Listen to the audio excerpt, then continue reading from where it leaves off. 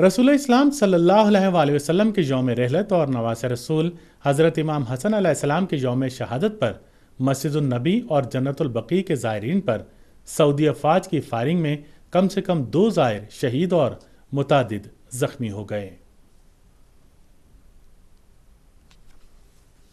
पैगंबर इस्लाम सल्लल्लाहु अलैहि वसल्लम के योम वफ़ात नवास रसूल हज़रत इमाम हसन अलैहिस्सलाम के योम शहादत पर मस्जिदुलनबी और जन्नतुलबकी के ज़ायरीन और सऊदी पुलिस के दरमियान झड़प हुई है, जिसमें कम से कम दो लोग शहीद और चार ज़ख्मी हुए हैं।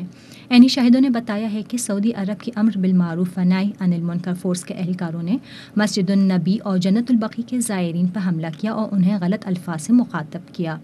एनी शाहिदों ने बताया कि लफ्जी झड़प के बाद लकड़ी और पत्थर से हमला किया गया और सऊदी सिक्योरिटी अफवाज ने फायरिंग करके दो शिया ज़ायरीन को शहीद और कई को ज़ख्मी कर दिया।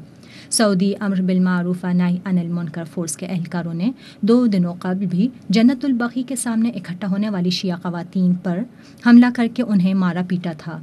इंटरनेट साइट यूट्यूब पर जारी एक वीडियो टेप में, मारपीट का शिकार होने वाली एक शिया खातून की आवाज़ सुनी जा सकती है, जो मदद के लिए चिल्ला रही है। दनी असना सऊदी अरब के एक शिया आलम दीन और दानिश्वर ने अमर बिलमारूफ और नहीं अनिल मुनकर फोर्स के इकदाम को रियाज हुकूमत की जानब से नज़रअंदाज किए जाने पर सख्त तनकीद की है। शेख सफ़ा ने सऊदी फरमानवा शाह अब्दुल्ला से मुतालबा किया है कि वो इस कस्म की कार्रवाई को रोकने का इंतज़ाम करें।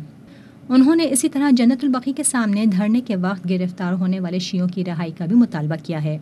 उन्होंने कहा है कि मस्जिदुलनबी और जन्नतुलबकी के ज़ायरीन के साथ अमर बिलमारूफ व नाही अनिल मुनकर फोर्स का रवैया, इस्लामी तालीमत, इंसानी हकूक़ और सऊदी हुक्मरान की उन पॉलिसियों के मुनाफी है जिनका उन्होंने कौमी, इस्लामी और दीगर मजाहब के दरमियान मुजाकर के दौरान ऐलान किया है। सऊदी अरब की एक न्यूज़ साइट ने सिक्योरिटी अफवाज के झड़प में दसियों सऊदी बाशिंदों के ज़ख्मी होने की जानब इशारा करते हुए लिखा है कि सिक्योरिटी अफवाज ने कुछ ज़ख्मियों को मदीना के अस्पतालों से गिरफ़्तार किया है। सऊदी अरब की साइट रासिद ने भी ऐलान किया है कि मदीना के अजहरा और फहद अस्पतालों में जिन जख्मियों को दाखिल किया गया है, उनकी हालत नाजुक है।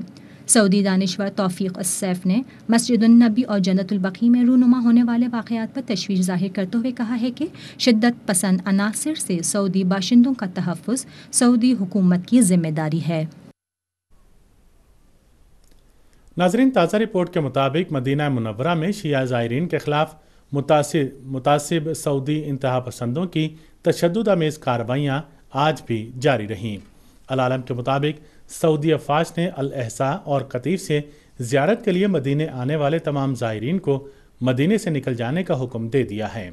एक और रिपोर्ट के मुताबिक, सऊदी अरब के मुमताज़ आलम दीन शेख जवाद अल हजरी को जनतुलबकी से निकलते वक्त एक इंतहा पसंद ने चाकू से वार करके ज़ख्मी कर दिया।